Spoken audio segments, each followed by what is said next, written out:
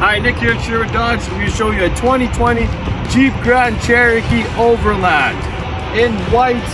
Beauty of a vehicle. We got tons of options on this. Let's go check out the inside. All right, in this 2020 Jeep Grand Cherokee Overland, tons of options in this. We got the 8.4 touchscreen with navigation. You got your heated seats, ventilated seats, heated steering wheel. We do have the Quadra-Drive 2 system here, so you do have air suspension.